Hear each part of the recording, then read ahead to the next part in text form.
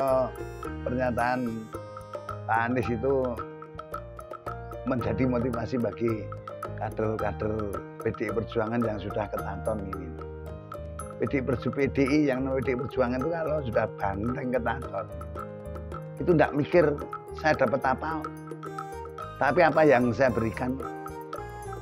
Jadi ya memang kompetisi sekarang 24 partai ya.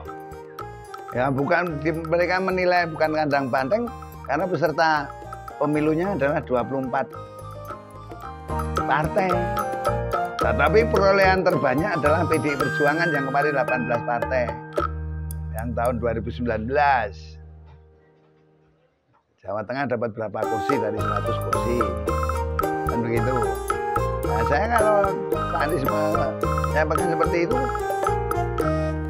kader-kader PDI Perjuangan banteng-banteng ini semakin semangat. Karena yang dimaksudkan dan banteng itu adalah perolehan suara itu paling banyak di Jawa Tengah. Nah, saya Anies ngendiko seperti itu usah-sah saja dan kita semakin bersemangat untuk untuk berjuang meraih suara sebanyak-banyaknya untuk kesejahteraan rakyat. Ketika PDI Perjuangan kursinya uh, paling banyak dalam mengambil keputusan yang dibuat oleh eksekutif itu pasti selalu lolos sepanjang dan selama untuk kepentingan rakyat. Jelajahi cara baru mendapatkan informasi. Download Metro TV Extend sekarang.